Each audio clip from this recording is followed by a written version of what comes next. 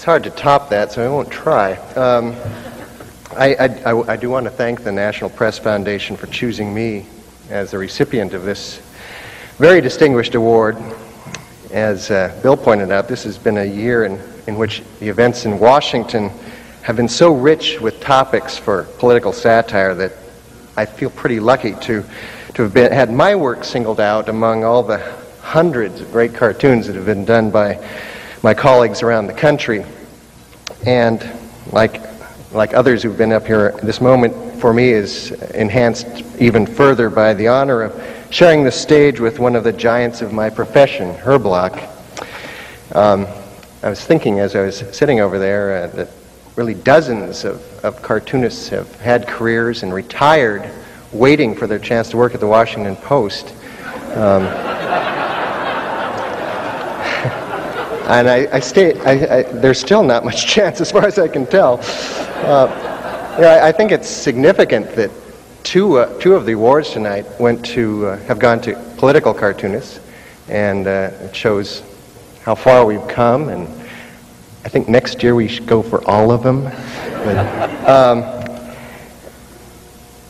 you know, cartoons haven't changed a whole lot in the last 130 years since Thomas Nast was drawing. I mean, they're still just uh, ink on paper.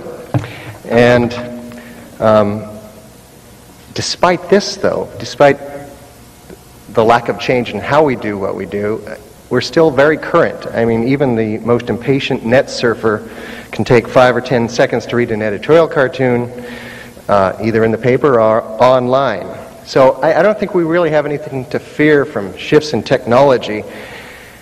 Really, our, our biggest worry as cartoonists is that our, satiric, our satirical skills can't possibly keep up with the increasingly weird twists in, in political reality.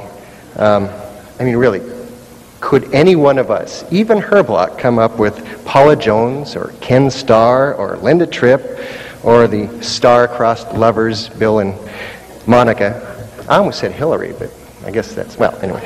Um, I mean, really, the truth is, with, with people like this, who needs cartoonists? Um,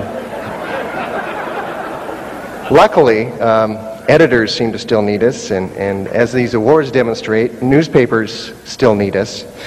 Um, but as every editorial cartoonist will tell you, our jobs cannot be done well without editors and publishers who are willing to give us a free voice and who are also willing to back us up when that voice draws criticism to the newspaper. And I've been exceptionally lucky in my career to have editors and publishers who have given me that kind of support, starting with Bill Prochnow when we were both far too young to have so much responsibility. Um, and there have been a number of editors and publishers since, and my luck, lucky streak continues. Um, with a couple of Washington Post alums, Joann Byrd and J.D. Alexander. Um, my very smart and feisty editor, Joann, has made this fun job, and you can tell it's a fun job, she has made it even more fun than ever. And she and my only occasionally irascible publisher, J.D., um, both unfailingly provide me with opportunities to expand the scope of my work as you saw in full page cartoons. There aren't a whole lot of newspapers to do that. Opportunities to work back here um, in, in, in many, many different ways. And I just want to take this opportunity to express my sincere gratitude to both JD and Joann for your support. Um, and I just have a couple other people to thank, like the Academy Awards. Uh, I, I want to recognize Tom Volk and his crew at Seattle's NBC affiliate King TV, who produced the video for me. Uh, yeah. And Jay Kennedy and the folks at King Features Syndicate, who have have put my cartoons out across the country. So now that I get nasty, rotten letters from people all over this great country. Um, and finally, I want to acknowledge my family, my wife, Nolan, my daughter Darielle, my son Daniel. They've been enthusiastic companions on this adventure, and I want to thank you guys. My late father, Ray Horsey, instilled in me a fascination with the political struggles that are the daily subject of my cartoons.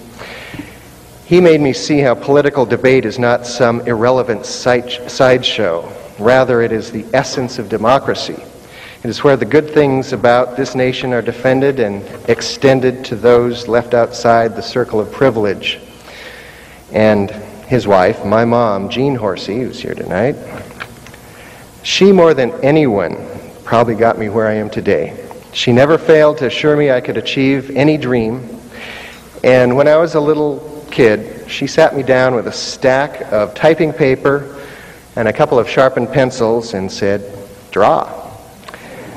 Well, I haven't stopped drawing since, and I do not intend to stop for as long as I have something worthwhile to contribute to the great American debate. So thanks, Mom, and thanks to the National Press Foundation for this incredible honor.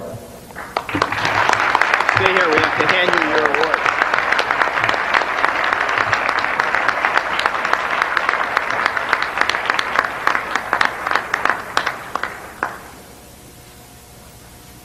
Congratulations. Thank you. Don't forget the check. Oh, yes. That's what this is for. Thank you. Thanks, Dave.